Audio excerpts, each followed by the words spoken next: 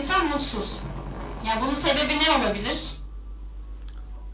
Ay benim canlarım. İkisi de aslan gibi boylu boslu ve bayağı güzelsiniz maşallah. Bir kere dalyan gibisiniz. Ee, ve kusursuz güzelsiniz. Allah nuruyla sarsın sizi, cennetiyle şereflendirsin.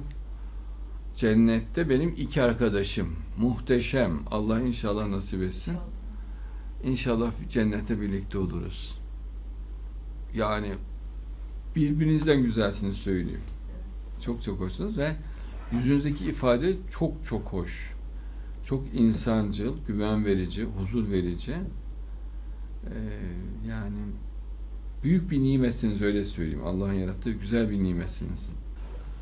O mutsuzluğu deccaliyet özel olarak yapıyor. Çünkü deccaliyet mutsuzluk, acı, ızdırap, sıkıntı, korku, vesvese gibi negatif duygularla insanları Allah'tan uzaklaştırır.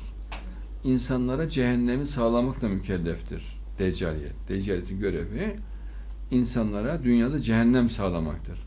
Mehdiyet'in görevi de dünyada insanlara cenneti sağlamaktır. Cennet taraftarlarıyla cehennem taraftarlarının bir mücadelesi oluyor şu an. Ama tabi cehennem taraftarları daha güçlü oldukları için İngilizlerin devleti vesilesiyle bir hakimiyet sağlamışlardı. Ama şu an Türkiye'den başlayan bir mağlubiyet ve dağılma sürecine girdiler.